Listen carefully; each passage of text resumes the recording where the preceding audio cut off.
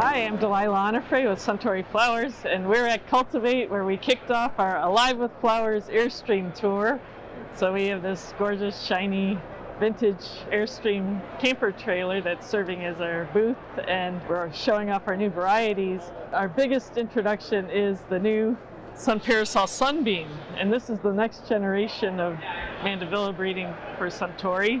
Not only is it a breakthrough color, this nice buttery yellow, but the plant itself is just loaded with blooms, heavily branching, excellent for the grower.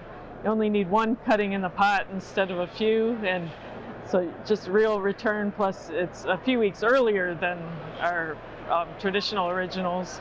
So it's a whole new generation of breeding. And Sun Parasol Sunbeam, huge response from the market so far. Find out more, visit suntoryflowers.com.